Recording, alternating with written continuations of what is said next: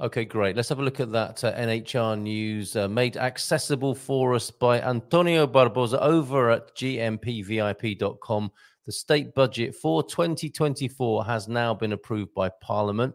We uh, shared an article with you yesterday from the Portugal resident.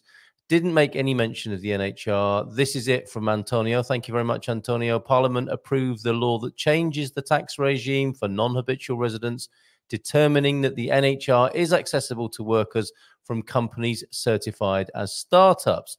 The state budget proposal for 2024, the OE 2024, foresees the end of the NHR regime, keeping it only accessible to people with income resulting from careers as higher education teachers and scientific research, or from qualified jobs within the scope of contractual benefits to productive investment of the investment tax code. Uh, I'm guessing that you want to know more prosaically um, if the old NHR um, is going to be um, extended. Uh, let's find out from Antonio now. Um, apart from those uh, specialist jobs that will be uh, continuing to attract the attractive regime. Therefore, then he continues, this tax incentive for scientific research and innovation will be accessible to people who, having not been residents in Portugal in the previous five years, become tax residents in the country and occupy jobs. A quote here in entities certified as startups under the terms of the law. Well, all well and good for those in startups. Uh, at issue are companies that employ less than 250 workers, have an annual turnover that does not exceed five, uh, sorry, that does not exceed 50 million euros, and that have been operating for less than 10 years, have their headquarters or representation in Portugal, or have at least 25 workers in that country, in the country, and that, among other requirements, do not result from the split of a large company.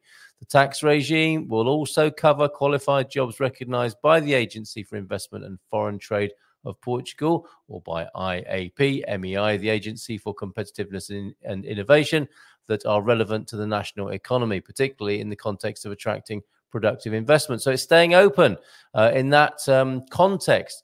Um, coming back then to those people who wanted it for their own personal use, uh, as was experienced in these last few years, Keep in mind that the government had already extended the transitional regime for non habitual resident taxpayers who become residents for tax purposes by December the 31st, 2024.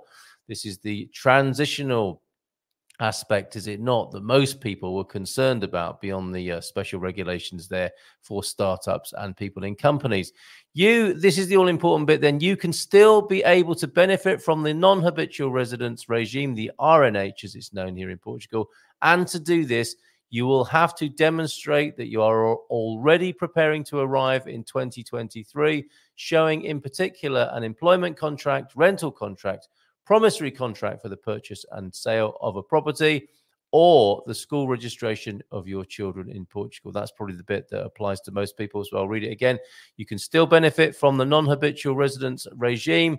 And to do this, you will have to demonstrate, or I guess it's not and to do this, but and to do this, you will have to demonstrate that you are already preparing to arrive in 2023, showing in particular an employment contract, a rental contract, promissory contract for the purchase and sale of a property or for the school registration of your children in Portugal. Thank you very much to Antonio Barbosa, who you can contact directly via the GMP VIP platform here, GIP VIP, gmpvip.com. And you can find Antonio at infinite solutions. Uh, as well. Okay, so that's infinite hyphen solutions if you want help from Antonio Barbosa finding property here in Portugal. Um, he is a buyer's agent, infinite hyphen solutions.pt. Thank you, Antonio, very much for decoding this for us. And of course, this will continue. Uh, they talk about the NHR, I'm sure, uh, for the for the next few weeks and months.